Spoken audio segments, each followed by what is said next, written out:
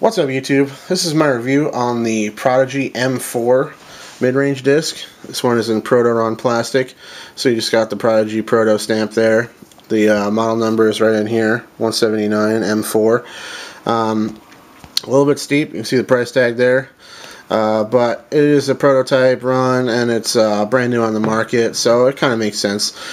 Um, first thing I noticed picking this guy up after checking out the price and being like, oh, that's a little bit, that's a little steep, is uh, the feel of it is fantastic. Just um, amazing feel to the plastic. Really great um, grippy feel to it.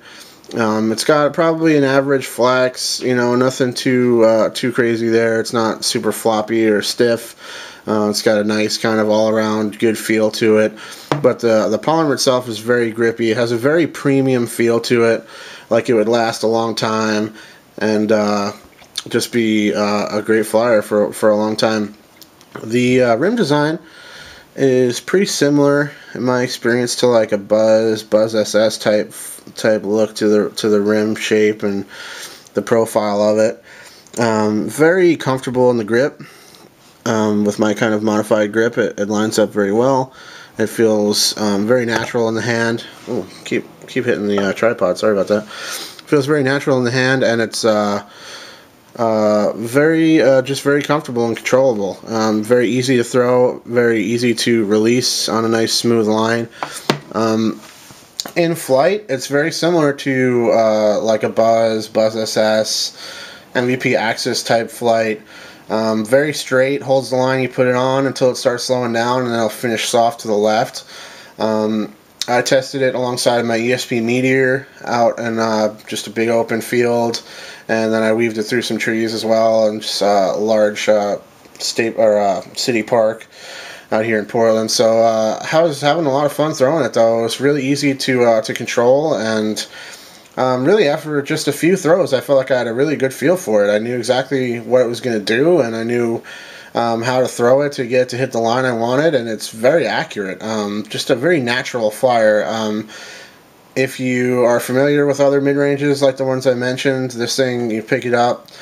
Uh, throw it in the bag. I don't think you'll have any trouble controlling it or uh, throwing it accurately. It's very, very familiar and easy to throw. Um, with a, uh, like I said, a really high level premium feel to the plastic. Um, so the price is a little steep for sure, but um, it's a really, really great feel to it. I imagine it's going to be a little bit cheaper once they actually start producing larger runs of these things and uh, more dialed in. I would imagine the price will come down a little bit. Um, I don't notice much wear on it. There's a couple little scratches there a little scratch there. I think that was from I was messing around throwing flick rollers, um, and it rolled up, bounced over the sidewalk, rolled out along the uh, asphalt, and like wedged underneath my car, like rolled underneath my car and kind of got stuck underneath. that was kind of funny, but I think that's what produced that little bit of damage. Um, but I've hit some trees with it, and I don't really notice too much there. So I think it'll be a real, uh, real durable plastic um, and just a, a, great feel in the hand, like I said. So yeah, if you're looking for a new mid range to try out, you know, you want something really uh, easy to throw, easy to learn, very straight flying, and uh, with that dependable kind of finish to the left. It's very consistent disc. I felt like I could put it on the same line I wanted to time after time um, during testing and use of it so far. So I'm really impressed. I'm impressed with the Prodigy feel and uh, the, the mold, this mold so far. You know, we'll see what else they come out with. Um, look forward to them releasing some drivers that aren't 13 speed, you know, some slower stuff.